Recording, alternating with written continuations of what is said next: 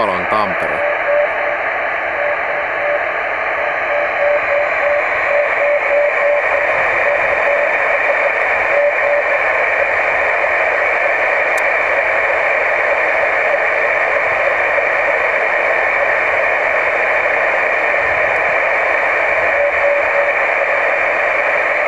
sitten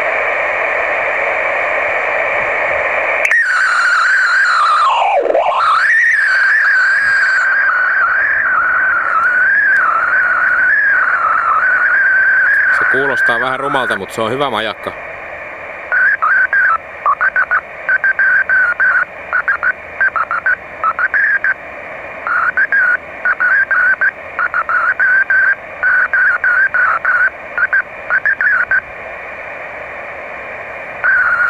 Se kuuluu hyvin, on antenni ihan mihin suuntaan tahansa. Toi Masto tossa on hirveän hyvä heijastin, tai tommonen, mikä lieneekään. Sitä päin kun antennin kääntää, niin no se on suurin piirtein sinne päin kyllä nyt.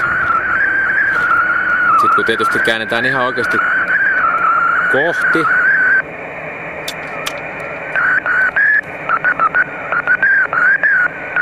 No ei se kauhean paljon kovempaa tule. Nyt vaan kuuluu myöskin toi lokaali sieltä taustalta.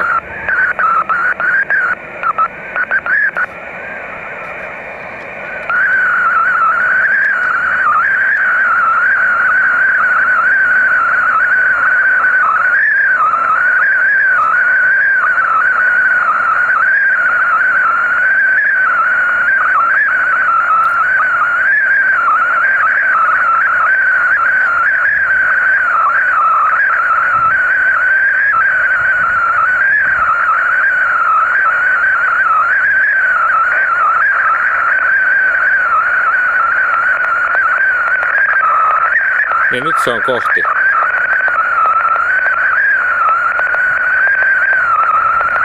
Kyllä siinä se avainnus kuuluu, mutta se tulee ihan yhtä kova. On siellä avainnus päällä tai ei. Se on tuolla.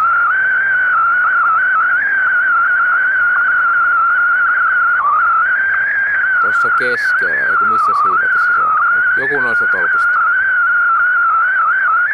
Pasilassa kuitenkin.